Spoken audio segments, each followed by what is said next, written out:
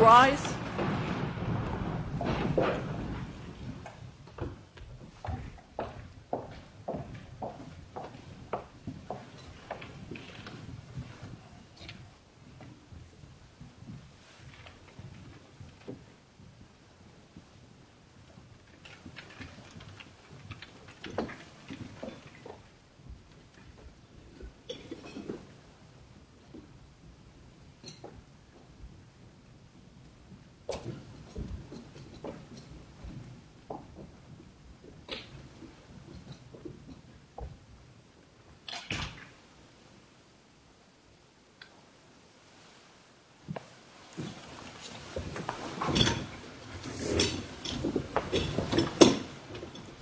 Supreme Court of Queensland is in session. Any person having business before the court, come forward, announce your presence, and you will be heard.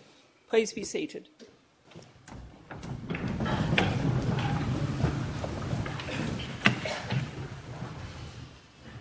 Chief Justice, I present a commission appointing me a judge of the Supreme Court. Let the commission be read.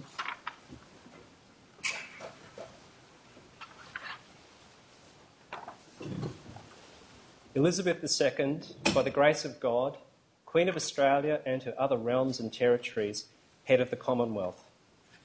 To our trusty and well beloved Kerri Ann Mellifont, Queen's Counsel, Bachelor of Laws, Barrister, greeting. Whereas His Excellency the Governor in and over our state of Queensland in the Commonwealth of Australia, with the advice of the Executive Council of our said state, has seen fit to direct that you, Kerri Ann Mellifont, Queen's Counsel, being a barrister of the Supreme Court of our said state of at least five years' standing, and one of our counsel learned in the law, shall be appointed a judge of the Supreme Court. Now know you that we, reposing full trust and confidence in your loyalty, learning, integrity, and ability, do hereby, in pursuance of the Constitution of Queensland 2001, and an exercise of all powers and authorities enabling us in that behalf, appoint you the said Kerri Ann Mellifont, Queen's Counsel, being a barrister of the Supreme Court of such standing as aforesaid, to be a judge of the Supreme Court of our said state on and from the 4th day of October 2021. To have, hold, exercise, and enjoy the said office during good behaviour, together with all the rights, profits, powers, privileges, and advantages thereunto belonging or appertaining. In testimony whereof we have caused the public seal of our said state to be hereunto affixed.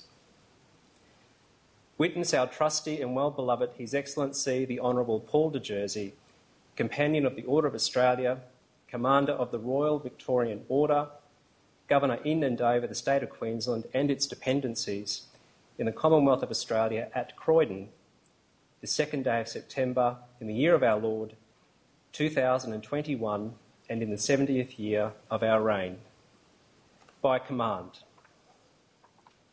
Entered on record by me in the Register of Patents, number 52, page 62, the second day of September AD 2021, Clerk of the Executive Council.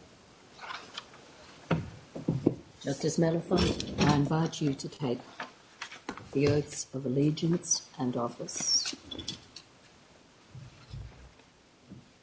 I, Kerri Ann Mellifont, do sincerely promise and swear that I will be faithful and bear true allegiance to Her Majesty Queen Elizabeth II as lawful sovereign of Australia and to her heirs and successors according to law.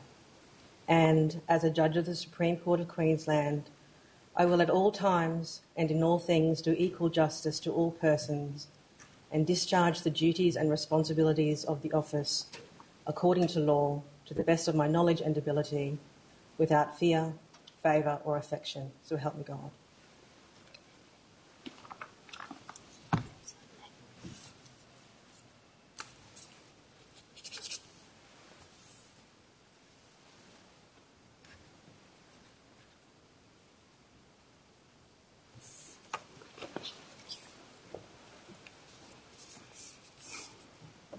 Justice Mellifont, we welcome you as the newest member of the Trial Division of the Supreme Court.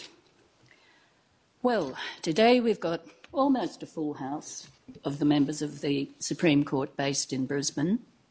The exceptions are Justice Jackson, Justice Brown, and Justice Applegarth, all of whom wish to be associated with these remarks. Justice Crow joins us from Rockhampton by video link. Uh, the two, the northern and far northern judges, Justice North and Justice Henry, are both on leave, but both also wish to be associated with these remarks. And I'm very pleased to welcome all of you today. I would not have thought I could become such an avid watcher of press conferences. It is a great relief we've been fortunate to be able to hold this ceremony, albeit with numbers in this courtroom thinned, but with two overflow courtrooms. Uh, the locally based members of the High Court, the Chief Justice and Justices Keane and Edelman, send their apologies. The High Court is presently sitting. I welcome Justices Greenwood and Thomas from the Federal Court. I should mention that Justices Logan and Rangiah in particular asked that their apologies be, record, be recorded. We welcome the Chief Judge by video link from Maroochydore and the just, judges of the District Court who are physically present, uh, Judge Vasta of the Federal Circuit Court, Member McNamara of the Land Court, the Chief Magistrate and Deputy Chief Magistrate get. Uh, some of our former members are present. Former Justices Cullinane and Carmody have particularly asked that their apologies be noted. At the bar table, I acknowledge the Attorney General, Ms Fentiman, Mr O'Brien on behalf of the Bar Association, Ms Shearer, the President of the Queensland Law Society. In the audience, I welcome Mr Krause MP, representing Mr Nicholls, the Shadow Attorney General, the Director General of the Justice Department, Mr Mackie, and other departmental officers, members of the Academy, other distinguished guests, members of the profession, and members of the public. And, Your Honour, we particularly welcome your husband, Peter Russo, who is well known to many of us from his long practice as a solicitor your sons, Grant and Joe, your stepdaughter, Katie, uh, and your stepson, James, who I hope has succeeded in joining us by Zoom. Your two sisters and two brothers are here, a number of your in laws, some cousins, and an enormous number of friends, both in pers- person and by streaming. Justice Mellifont, you started your legal career as a teenager in the Public Defender's Office. I won't be so indelicate as to say exactly when that was, but it was in the days when that office was still a separate agency before it had merged with Legal Aid. One of your guests today, and I suspect an early role model, is Barbara Newton, who occupied the position of public defender when you joined the office. She was one of the first women to occupy a senior position in the Queensland legal world. You saw both sides of the criminal law, spending roughly equal periods in public defence and at the Commonwealth Director of Public Prosecutions Office before emerging like a butterfly to practice at the private bar in 2001. Your practice expanded to include administrative law, regulatory, prosecution, and defence work, often in the mining sector, inquests, and the role of counsel assisting commissions of inquiry. The most recent of those, from which you have had to tear yourself away in order to take this position, was the Disability Royal Commission. While all that was happening in your professional life, you completed a Master of Laws at QUT and then a Doctor of Juridical Science in 2007 at the same institution, with your thesis on illegally obtained evidence published by the Federation Press. You took silk in 2010.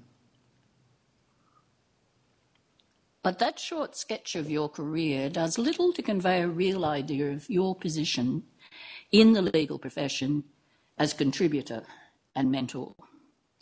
You have always been extraordinarily generous with your time and energy on behalf of others, often to your own detriment. You've worked hard for the Bar Association, as I'm sure Mr O'Brien will attest. This appointment has spared you another year as co chair of the Bar Association Conference Committee, but I suspect they'll dragoon you into service in some other capacity. You've been a regular organiser of social as well as educational events for the profession. The annual Women Judges and Women Barristers drinks, which you and now Justice Wilson organised in the bar common room some years ago when it was the bar's turn to put the function on, lives on in the memory of all who were present. You'll now be able to organise the same event here in the courthouse on behalf of the judges. but there is to be no property damage here. you have been a strong supporter of QUT law students in many ways tutoring Indigenous students, fundra- fundraising for QUT's Equity Scholarship Scheme. At a time when female le- leaders of the bar were and are in short supply, you've always taken your leadership role very seriously, mentoring and looking after young barristers. You've always had time for everyone, and you've always had the ability to make that time highly enjoyable. Justice Mellifont, your new colleagues are glad to have you join us with your talent, your capacity for hard work, your gift for camaraderie, and your generosity of spirit. Madam Attorney General. May it please the Court. Can I start by respectfully acknowledging the traditional owners of the land on which we gather this morning, the Turrbal and Yagara peoples, and pay my respects to elders past, present, and emerging can I acknowledge the Chief Justice and echo the acknowledgements made by Her Honour and extend my welcome to the judicial officers, representatives and members of the legal profession, and the family and friends of the Honourable Justice Mellifont. It gives me great pleasure to welcome Justice Kerri Mellifont to the Trial Division of the Supreme Court.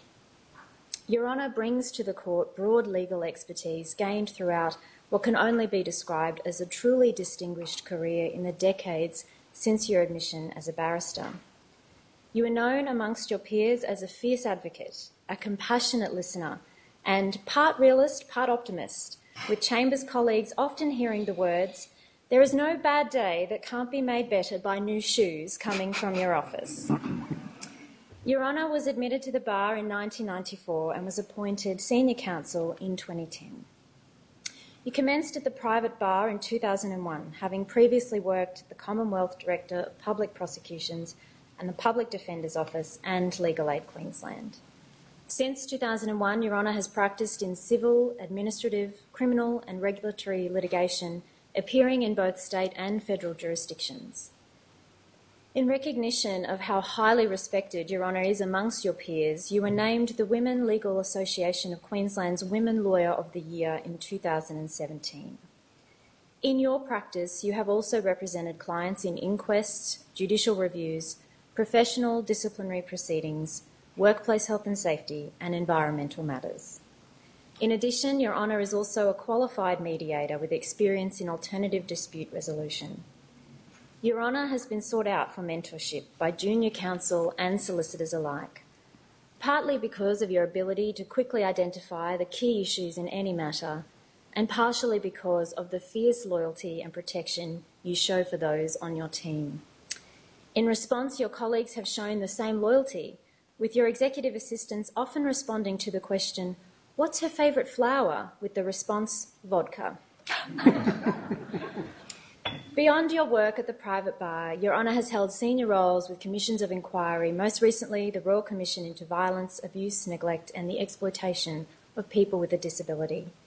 You were appointed Senior Counsel assisting the Royal Commission in September 2019 and have been involved in assisting a number of public hearings and have dedicated yourself to that work for the better part of the last few years. And this was acknowledged by the Chair of the Royal Commission, Ronald Sackville AOQC, who publicly stated that although we will be sorry to see her go, I can think of no more fitting candidate for such an important role in our legal system.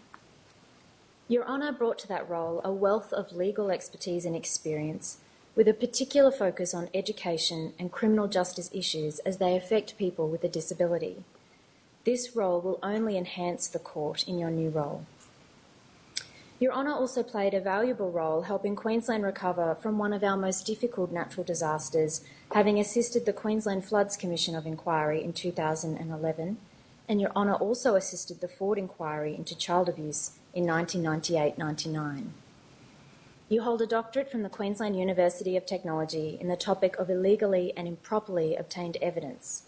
You're a published author, having written a book on that topic titled Fruit of the Poisonous Tree Evidence Derived from Illegally or Improperly Obtained Evidence. And I note that Your Honour's work on this book was widely applauded at the time of its publication, with critics in the legal profession alike praising its readability, tight focus, and important insights into its subject matter. You have also spent time during your career helping to educate the next generation of Queensland's legal practitioners, including First Nations students. Your Honour has served as a tutor and lecturer in criminal law at the Queensland University of Technology and often presented at legal profession courses and seminars. In addition, Your Honour has served as a member of the QUT Founders Scholarship Committee since 2013. The breadth of knowledge you have gained from handling high profile and complex matters in various jurisdictions throughout your career will make you an asset to the Supreme Court since the announcement of your appointment to the Supreme Court, I have continually been approached by members of the legal community informing me that Your Honour will be a wonderful addition to the court. Congratulations on your appointment today. It is my great pleasure to welcome you to the Trial Division of the Supreme Court. May it please the Court. Mr O'Brien. It please the Court. On behalf of the Bar Association of Queensland, it gives me great pleasure to speak at the occasion of the swearing-in ceremony of Your Honour Justice Kerri Mellifont. Justice Mellifont, I extend a particular welcome to your husband Peter, to your sons Grant and Joe, and your stepdaughter Katie and your stepson James, as well as other members of your family and friends who have been able to join us here today, either in person or virtually. Honour joins this court following a very successful career at the bar. You were called to the bar in 1994, having been awarded Bachelor of Laws with honours from the Queensland University of Technology. You were subsequently awarded a Masters of Law in 1996 and award of a Doctor of Juridical Science in 2007. In 2001, you commenced your practice at the private bar following 11 years in public prosecutions, where you spent five and a half years with each of the Public Defender's Office, Legal Aid, and the Office of the Commonwealth Director of Public Prosecutions. At the private bar, Your Honour managed a very busy practice where you excelled in areas of criminal and regulatory law, medical law, inquests, commissions of inquiry, and administrative law. Your work in inquiries is of particular note. You had substantial roles in the Ford inquiry into child abuse, the Queensland Floods Commission of Inquiry, the Barrett Adolescent Centre Commission of Inquiry, where I appeared alongside you, and most recently, the Royal Commission into Violence, Abuse, Neglect and Exploitation of People with Disability, where, as we've heard, you were Senior Counsel assisting the Commission. In recognition of your prominence in these areas, you were made Silk in 2010. You are known for your meticulous preparation and endless capacity for hard work. It is said you have never been to court anything less than completely prepared. And your deep sense of justice and, and fairness is clearly displayed in your work and is the hallmark of your approach to any matter. But despite such a heavy workload, Your Honour has always had time to help others in the profession, as the Chief Justice has noticed, and uh, noted. You have found joy in helping others at the bar and have been an enthusiastic mentor in many junior barristers, to many junior barristers, particularly women. You shared your successes with your juniors and gave much of yourself to them often becoming a confidant and a life coach. You have always showed your generous spirit to those around you who are safe with the knowledge that you're always available to give professional or personal advice, or sharing good food and coffee, or just a chat and a laugh. As the Chief Justice also noted, Your Honour has been a substantial contributor to our association. For the past three years, you have been the co chair of the Association's annual Bar Conference Committee and you have presented countless CPDs seminars for so many years for the association. Importantly, also, Your Honour has been a strong advocate for any effort to make life as a barrister better.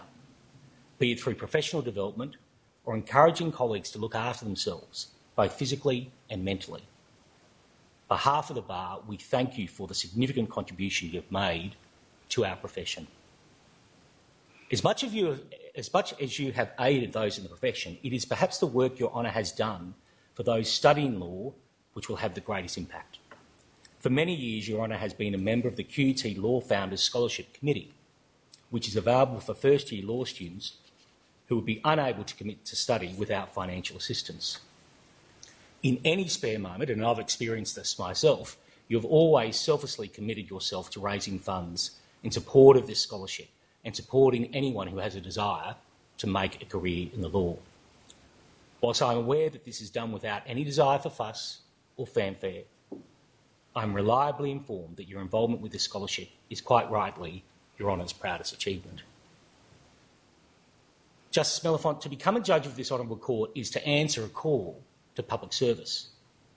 Your Honour's extensive contribution to the profession and the community is such that it is no surprise that Your Honour answered that call when the opportunity arose. We know that Your Honour has accepted this appointment because Your Honour values public service and understands that the reputation of this great court can only be maintained if leading members of the bar, such as yourself and your fellow recent appointment, Justice Kelly, are prepared to take on the considerable burden of life as a Superior Court judge.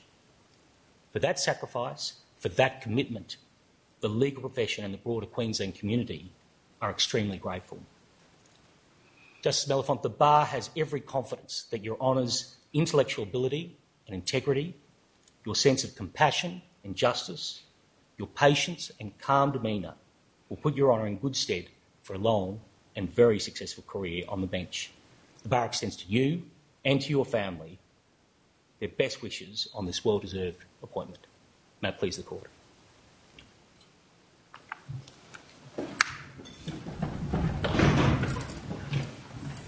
Ms Shearer.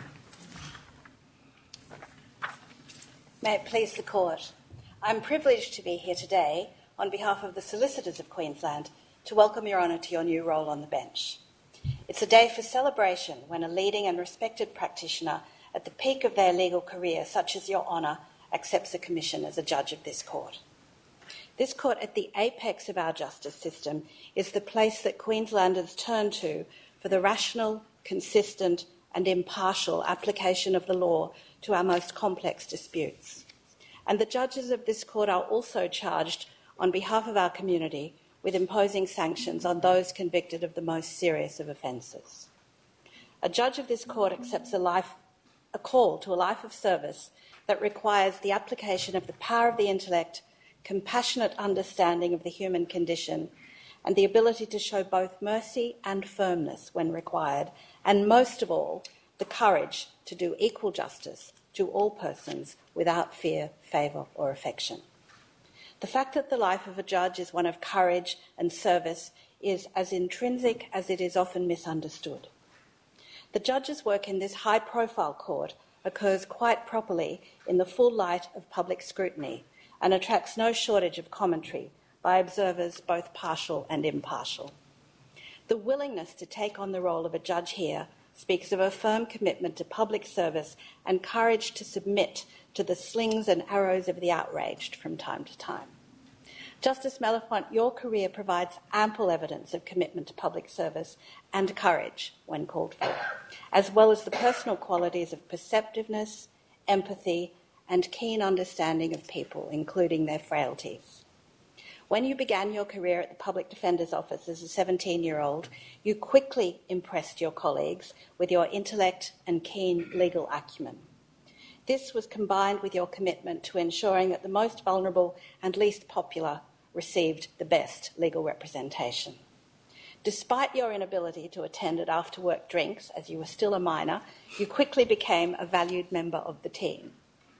You showed interest and strong skills in advocacy, and when you later commenced at the bar, you were immediately successful. This was due to your combination of intellect, good judgment, and compassionate kindness, qualities that have been evident throughout your career. I'll not restate Your Honour's extensive qualifications other than to say your breadth of experience makes you ideally suited to the many types of serious proceedings heard in this court. Your extensive practice in criminal, civil, administrative, and regulatory matters has undoubtedly prepared you well for your new role, as has your experience assisting so many royal commissions. Your Honour has always, as we have heard, fulfilled your role as a leader of the profession admirably, contributing generously over many years, holding positions of leadership and responsibility at the Queensland Bar.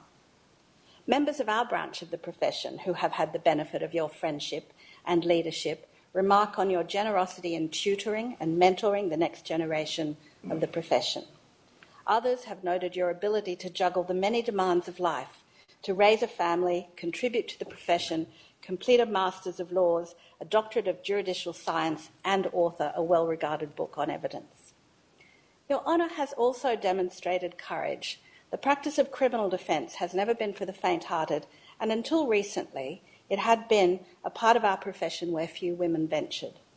Your example has inspired other women to follow, and you were recognised as Woman Lawyer of the Year by the Women Lawyers Association of Queensland in 2017. I've been told many stories of your courage as a young woman dealing with the wolf whistles at Boggo Road, on another occasion requiring vaccination for a contagious disease after holding a baby for a defendant in court, and on another occasion crawling through an underground coal mine in grossly oversized overalls. You've always been willing to put personal discomfort aside to ensure justice was served. No doubt your service to this court will require will continue to demand that of you. The other qualities our members remark upon is your ability amidst all the pressures of work to bring a little bit of fun. The lolly bags and Freddo frogs dispensed in celebration of your taking silk are fondly remembered. While the opportunities for levity in this court may be fewer, your grounded and humane approach to the administration of justice will serve the people of Queensland well. The solicitors branch of the profession welcomes your appointment to the court, and you can be assured of our support. May it please the court. Justice Mellifont. Mm. I've always really liked the well beloved part of the Judicial Commission. I especially like it today when I get to be the well beloved. I know I shouldn't, but I really do because today is going so much better than the first time I went to court, which was an absolute train wreck. It really was. I was 22 and a freshly minted barrister, and the appearance was so bad, in fact, that by the time I got back to my cubicle at the public defender's office, a barrister from the private bar was on the phone telling me that it would be okay it could only get better from here. and he wasn't even in the court or anywhere near it. In fact, I don't even know if he was in Brisbane. I have to say that the kindness of this barrister was the first of many such displays by counsel and solicitors and judicial officers over the years, for which I will always be grateful. Inevitably, giving thanks in a speech like this is fraught for the risk of leaving someone out. I've been truly truly lucky in my career and life to have had the help and guidance and role models from and in so many people. One instance which sits strongly in my memory was the determined effort of Justice Mullins and Justice Atkinson, as Her Honour then was, when they pulled me aside at a function quite determinedly when it had become clear to them they'd blamed myself as the entire reason a young woman was behind bars. And they, shall we say, uh, sorted me out.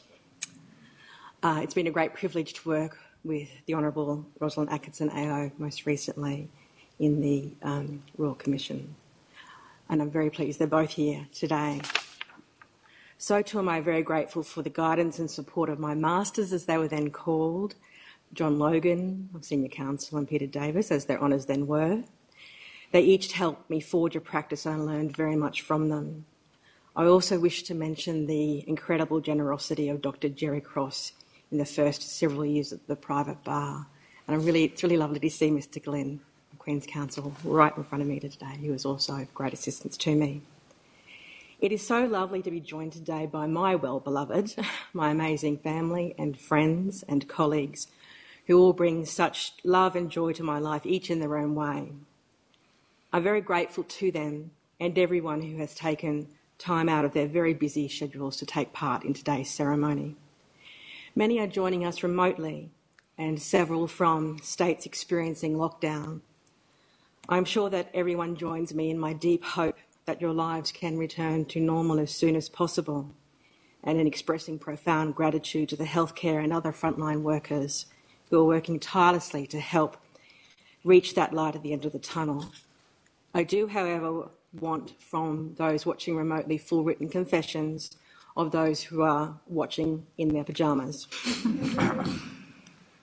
I want to thank the members of this court for their very warm welcome, for Justice Burns yesterday for taking time out of his public holiday to show me the ropes, for the Senior Judge Administrator in making my transition smooth, ably assisted by Ms Lynn Klein, and for Ms Janine Mitchell in organising today, which is no mean feat. I suspect this job is one which fits within the wise green philosopher, philosopher's credo of do or do not, there is no try. I am so pleased that I will be surrounded by many of these justices as I go about the task of doing. I'm looking forward to taking this journey with Justice Kelly, and I offer him his, my warmest congratulations on his appointment. Justice Kelly does not know this, but many years ago, I thought I was to appear against him in the federal court, and I asked a Chambers colleague, What's he like? That barrister had an involuntary, sharp intake of breath and said with great solemnity, Compelling. this was not the response or answer that I wanted, nor was I thrilled to hear you deliver such a cracking swearing in speech, knowing I'd be the next to, to give the next speech, and my mood was not enhanced by a certain someone who shall remain nameless, saying, Good luck following that. I am very humbled by the very kind and generous works words of the Chief Justice, the Attorney General, Mr O'Brien and Ms Shearer. I note, however, that at the welcome ceremonies earlier this year of Justices Freeburn and Kelly, the speeches included praise for their quiet presence, their quiet lives, their quiet integrity, etc. And I shall assume that the absence of that adjective today is only due to wanting to avoid repetition and for no other reason.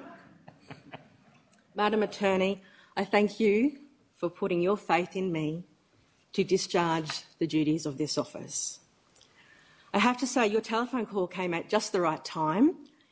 It was immediately after a very, very, very long lunch with my tremendous solicitors and junior, celebrating success after a very, very, very long running matter. And at which lunch we had decided on a career change, which was to start a band called Pollyanna and the Bennetts. I decided to go with your plan instead, which I think is a pretty good display of judicial discretion. May I also join in your acknowledgement of our First Nations people and do so in a very personal way by expressing my thanks for the th- presence of three incredible women. Commissioner Andrea Mason, OAM, who is tuning in from Murwillumbah country in the Northern Territory. Auntie Leslie Williams and Commissioner Tammy Williams, who today are celebrating an auspicious occasion themselves in Koa country. That these women have taken me into their lives has been an extraordinary privilege. Mr. O'Brien, thank you for being here today. My thoughts are with Mr. Sullivan and his family. The bar has been a profession I have been very proud to belong to. Of course, at times like this, it's easy to slip into romanticising because certainly at times I had to resist taking action against an opponent, which would have ended up with me in the dock rather than in front of it representing someone else, and no doubt others had the same experience when against me. But for a very large part, I was able to experience the best that the bar can offer and that is a profession which is committed to the rule of law, to the advancement of justice, and to excellence in representation.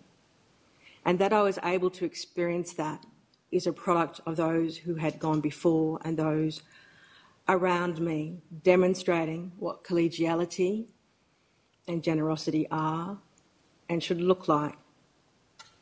We often use the word collegiate to describe the bar. As I've said, it's not always the reality, but, but when it is, it is truly something special. Because what it boils down to is caring for another human being. And nothing in this world is better than that. And nothing in this world is better than watching one of you juniors soar. And I can see some of them here today. And I think that's why I've always loved the part in ceremonies where the bar stands up as one behind and with the president. It's hard to describe the feeling, but it is special, and I suspect it's a combination of pride and hope. Although I'm very much looking forward to this new chapter of my life, which will start in an hour or so, there is certainly part of me which will miss what it means to be a member of the bar. At Justice Kelly's swearing in, my appointment had been announced, but I had not yet started, obviously, otherwise we would all be here today. And so I was neither barrister or, nor judge, and I was seated over here on the right hand side of the court. And when the bar rose, some involuntary muscle memory in my feet sent a message to me to stand up. But fortunately, my brain sent a response back just in time, saying, Stop, what do you think you're doing? And uh, that's just as well, because you can imagine how really silly I would have looked standing over there, not in robes, everybody else sitting down, and the Attorney General thinking, Oh my, what have I done? Miss Shearer, I share such great admiration and affection for the members of your branch of the profession that I married one. what our professions share is the absolute privilege of being part of the lives of others, to live and learn about so many aspects that this world has to offer through our clients' lives, to walk with our clients as they are going through what for many will be the most stressful experience they will encounter. I have had the opportunity to work with some exceptional solicitors, and my, I may not have always said it, but I understood always the weight on the solicitor of recommending a barrister to their client. I am sincerely thankful for your members having put their trust in me, particularly in areas where I was not already established. I am lucky to say that many have become firm friends, and I can see some of them there today. And to them, I promise to be more Amy than Rosa, but with a good splash of Gina for outside court. Miss Shearer, one of the most, if not the most exceptional person I have known is Catherine Birchall, who you will know was a solicitor for many years and contributed to your society. I want to say that if, we, if I can be even half the lawyer, friend, mother, wife, and leader that she was, I'll be more, more than entitled to be proud of myself. I started my legal career in my brother's firm. I was a filing clerk. I then received a job at the Public Defender's Office, which I'll come to in a moment. Suffice to say, I was the worst filing clerk in the history of the legal profession.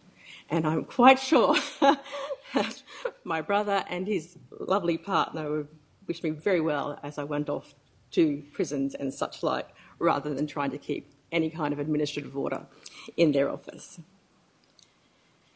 I, I, started at the Public Defender's Office when I was 17, and I came to be there because when I went to see my grade 12 careers counsellor, John Telfer at Mount Maria, about where to do work experience, I told him I wanted to be a general practitioner, and he said, Okay, I'm going to send you to the Public Defender's Office. And so I went. And then Terry Kelly at the Public Defender's Office told me to come back at the end of the year and they would give me a job. And so I did. This said two things. These two good men saw something in me that I didn't, and that I am easily led. and what I learned at the Public Defender's Office, apart from how to still get your work done with cricket balls flying about the cubicles, was in the right to a full and proper defence and in the privilege in providing one. As the Chief Justice has mentioned, the public defender then was Mrs. Barbara Newton, who is present here today with her daughter.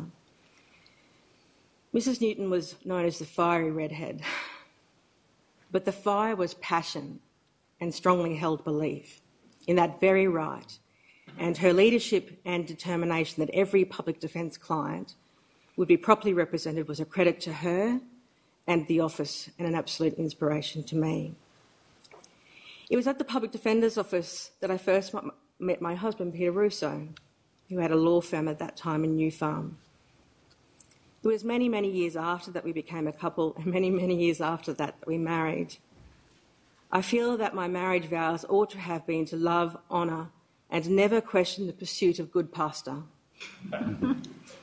Our marriage has had the added bonus of Jimmy and Katie, who I hold dearly in my heart, and a swathe of in laws, many of whom are here today, who have made me welcome always, and I'm fortunate to have them in my life. I'm very proud of Peter. His strong commitment to the marginalised and to decency and to humanity was something which struck me from the first. And these are qualities I already see in our two beautiful sons, Grant and Joe. I'm also very proud that Peter briefed women and briefed women with the good work long, long before equitable briefing policies were even in contemplation. Peter, ours has been an adventure, and life with you is frequently amusing. There was that time that a summons needed to be served on a witness who was known to enjoy a beer, so Peter decided the best way to do that was for him and his two solicitors, Messrs. Arminas and Thomas, to start at the closest pub and work their way north. They were successful, eventually or the time that a subpoena was to be served on one of the islands in the bay, and apparently the best way to do that was to hire a fishing boat. I can only assume there was a terrible shortage of process services, services at, servers at that time. And the last I will tell of, of our interesting life is Peter heading off for a straightforward arrest in a country town west of Brisbane of four Italian farmers whose crop may or may not have extended beyond oranges. Three days later, I got a phone call from New South Wales, and Know, I know this to be true that Peter knew that if he got them back to the farm at around lunchtime, there'd be an Italian cook there for sure with piles and piles of spaghetti pomodoro and more to share. Like I said, never question the pursuit of good pasta. In his new job, he is much easier to keep track of. To my boys, Grant and Joe, some people say that your heart swells whenever you see your kids. And for me, that is absolutely true whenever I see or whenever I think of you. And so that is why whenever you are within kissing or hugging distance, you get smothered. You are soon getting to the size where you'll be able to fend me off, but for the time being, if you're within grabbing distance, too bad. And I reserve the right to rickroll you to my heart's content. My mum and dad, uh, Rosemary and Brian, would have been so very proud today my mum would be sending me beams of love with her big warm eyes, and my dad would be busy taking credit. I mean, I mean all the credit. Truly, my role would have been inconsequential. And I would have been okay for that. I could not have hoped for better parents. And I'm so very touched that Tommy O'Neill, a part of the family, the Mellifont family, just about from the moment he and his wife Mary hit Australian shores from Scotland, is here with me today with his daughter Mary. My parents also very conveniently produced for me four most excellent siblings Gregory, Michelle, Belinda, and Daniel, who I not only love dearly, but I also really like. The same can be said for all the additions they have brought into our family wonderful in laws and nephews and nieces, and even the most recent addition, a horse dog named Dougie. A resounding happy birthday to Belinda for last week for a very special birthday. My sister is 10 years older than me, and I really don't like it at all, and this happens commonly when people ask who is older. I'm really excited you could all be with me today, and so too my cousins Bernie, Lisa, and Pam, who are such an integral part of the Mellifont Russo village. In life, I've had the honour of having wonderful friendships, something which I hold very, very dear. If I could acknowledge you all, the tea will go cold. May I indulge in a quick view to my Danella, we have come a long way since dancing in tutus in the school church. And to Vicky and Jane, exceptional lawyers and exceptional friends, I'm very lucky. At the welcome ceremony for Justice Elizabeth Wilson, Her Honour referred, in an anonymous way, to the importance of having a true friend one who would look you in the eye and say, Liz, you really need to get a haircut. Out of pure retribution, I shall refer to a friend of mine in an anonymous way who, out of pure self entertainment, brought hula hoops to the Mater maternity ward to visit me the day after I had Joe. That day, it was not her hair that was causing her to receive strange looks. I think it's very sensible that the Chief Justice has separated us on level 16. There are many people on, people on this bench and those who are retired who I regard as friends and mentors, and I'm thankful to each of you. I've mentioned some already. Also note my deepest admiration and affection for the Honourable McMurdo AC and the Honourable Anne Lyons. Our Chief Justice is allergic to public statements about her of gratitude, affection, or admiration. So, for fear of getting listed in applications for 28 weeks straight, these comments have been heavily modified. In my humble opinion, our Chief Justice is a pretty good stick, and I'm more than lucky that our paths have crossed from time to time. I also want to thank Joe Formosa, Wes and Kerry Clark, and Mark Kelly for their commitment to making the world a better place despite the challenges of a certain recalcitrant customer, and to the shows, for including us in their family and for doing the unheard of and taking time off from their restaurant to be here today. In my career, I've been so very, very lucky to have been supported by the most excellent executive assistants, including Fiona Bowman, Annette Persky, Lizzie Canny, and Lisa Peters, and Lisa and Lizzie are here today. To say that I need someone to keep me functioning on a day to day basis is somewhat of an understatement. I start this job leaving another one unfinished, and that is my work on the Disability Royal Commission. I wish all of those on the Commission the very best in achieving the fundamental objectives of it, which is to improve the lives of people with disability in Australia and to make Australia a more inclusive society. It is complex and, in, and intense work, but work which is incredibly important and work which will be accomplished with collective wisdom. For the whole, of course, is always greater than the sum of its parts. Go well and keep tipping on the tightrope. And finally, a message to my boys. I'm very proud of both of you. Sometimes life is hard, sometimes life is scary, sometimes it feels overwhelming. But you are awesome human beings. You both have such heart and courage and strength that even if it doesn't always feel like it, you can do anything. And you will always be loved more than you can imagine, even when we're fighting about screen time. Thank you. Now there is morning tea for those of you who can stay, and you're all very welcome to join us out in the precincts of the court. Let the proceedings be recorded. Adjourn the court. All rise. The court is adjourned.